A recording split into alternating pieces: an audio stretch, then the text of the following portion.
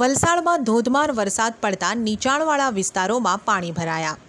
વલસાડમાં વહેલી સવારથી ધોધમાર વરસાદ પડવાથી શહેરના નીચાણવાળા વિસ્તારોમાં વરસાદી પાણી ભરાયા હતા અને વાહન ચાલકોને હાલાકી વેઠવી પડી હતી.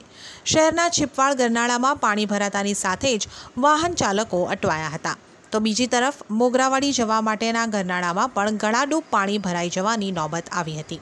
આ સાથે ગ્રામ્ય વિસ્તારના ભાગડાવડા ગામે આવેલા ગ્રીન પાર્ક અને ઝીનતનગરમાં પણ લોકોના ઘર ફરતે પાણી ભરાવાનું શરૂ થતાં, આ વિસ્તારના લોકોમાં થોડી ક્ષણો માટે ચિંતાનું મોજું ફરી વળ્યું હતું. જો કે આ વરસાદથી કોઈને જાનહાનિ કે નુકસાન થયું ન હતું.